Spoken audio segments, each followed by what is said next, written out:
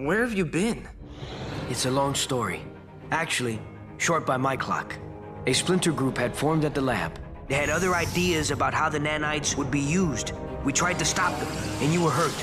The only way to save your life was an infusion of nanites. It was risky, but it worked. We thought that would be enough to stop the others, make them see the right path. But we were wrong. Mom and Dad were in the reactor.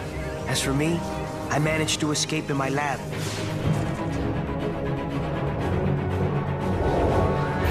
But the shockwave, the same one that probably blanked your memory, also interfered with the engine that powers this pod.